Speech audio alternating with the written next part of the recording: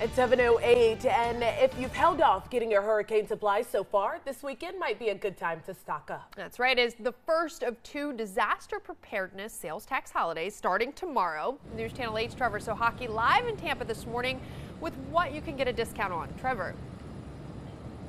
Well, Melissa Deanne, this sales tax holiday lines right up with the beginning of hurricane season, which also starts tomorrow. The state expects Floridians to save millions of dollars on lots of supplies from generators to batteries and tarps and a whole lot more. If you've held off on purchasing your hurricane supplies, this weekend may be the time to do so. Florida's first of two disaster preparedness sales tax holidays begins tomorrow, June 1st, and goes for two weeks through June 14th. So we always want to make sure we're available for the community to put themselves in a great position to take care of themselves and their families. Home Depot is one of many stores around the Bay Area that are participating in the holiday.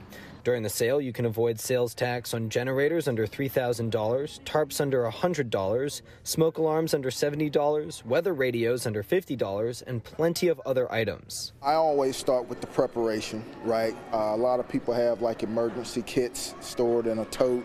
Uh, again, things like water, weather radios, lanterns, flashlights, batteries those quick grab items that are easy to replenish. Home Depot store manager Anthony Robinson said the company has a team that ensures the necessities are in stock when a hurricane is headed our way. We usually open a command center for the larger storms, so uh, supply chain and merchandise teams partner and work with the store to make sure we have those items that are in high demand at the store.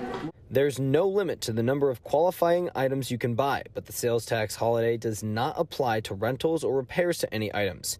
You can buy these items online as well. The state expects Floridians to save millions of dollars. And Florida's disaster preparedness sales tax holiday begins tomorrow, June 1st. It goes for two weeks through June 14th. If you miss out, there is another chance near the end of the summer from August 24th through September 6th. Live in Tampa, Trevor Sochocki, 8 on your side.